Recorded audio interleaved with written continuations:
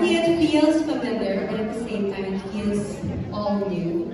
So it's a different feeling, but I like this feeling because um, there's this level of trust. Kasi pareho kami ni-launch at the same time sa Star Circle, di ba?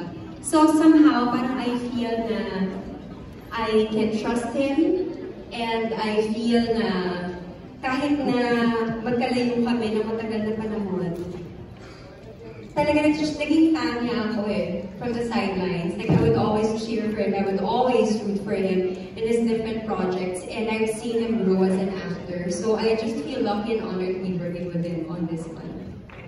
Oh, batch, as batchmates pala. same, same year na ni-launch. Ah, diba? Iba talaga yung binong feeling, diba? How about you naman, Dennis? Is it enough?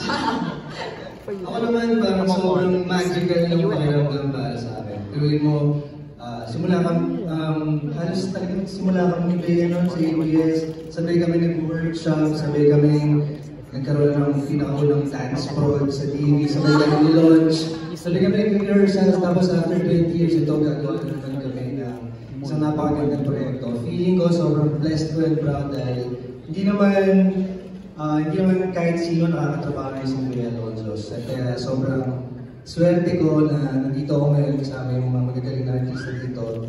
At syempre si Bea, um, sobrang happy lang na nakatrabaho kami ulit and ito yung perfect project para gawin namin ito. Yeah. I found out that you are working together after 20 years. Plus 10. 20. it? Yung first day sa set namin.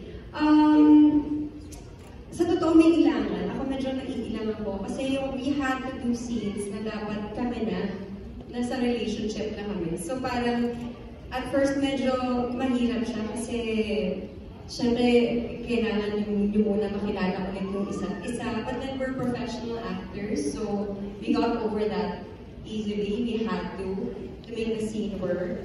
But um, Feel na nakakatulong din yun. Kasi, yun nga, sabi ko kanina, may sense of parang being familiar to me.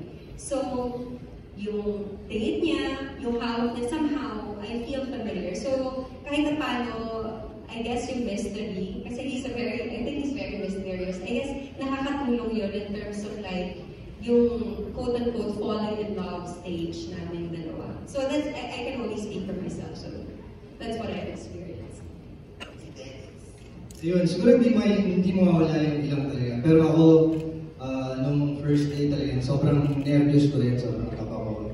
Uh, nasa, nasa starstruck ako eh, every time ka-excited ako siya. Uh, kaya pag, uh, pag nasa taping ako, sinecheck ko yung breakdown, gano'ng karami yung eksena namin ni Bea. Kasi ibig sabihin talagang kailangan ko talaga dun sa eksena na dahil. Wow! Dahil, eh, syempre Bea Alonzo, box office queen.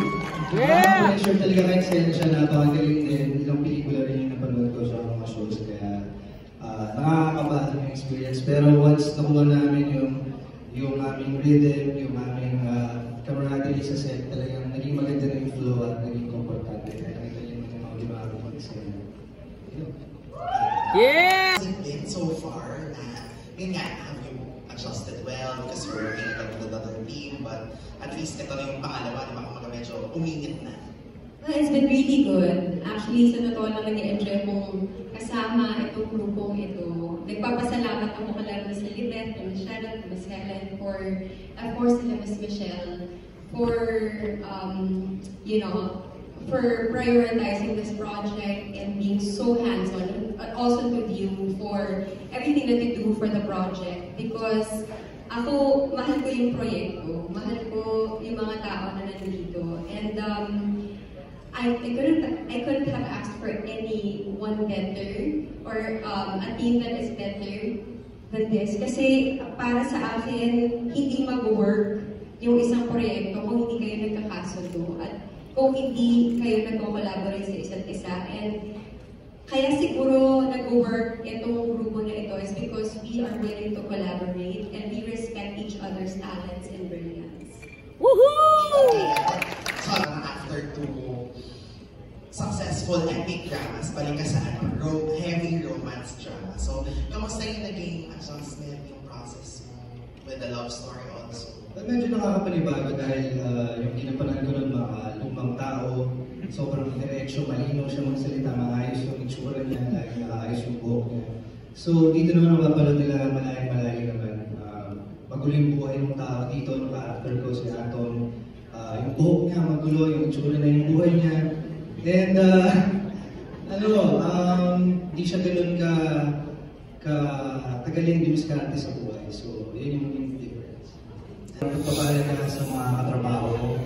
Ah, yung maging ah, kailangan mo kasi dito sa trabaho na to, bukod sa talent, okay ka rin makisama dahil at the end of the day, pa rin talaga yung tinitingnan nila, yung galing mo sa kung paano makapagtrabaho. And ah, siguro yung pagpapahalaga and yung pagpapahalaga doon sa spotlight na binibigay sa'yo and eksena. Um, kasi yun na yung time eh. Yun yung, ito na yung time para um, galingan, um, gamitin lahat ng mga oras para ginugol mo sa rehearsal and uh, ayun, siguro yung pagpapahalaga sa trabaho sa, sa mga katrabaho.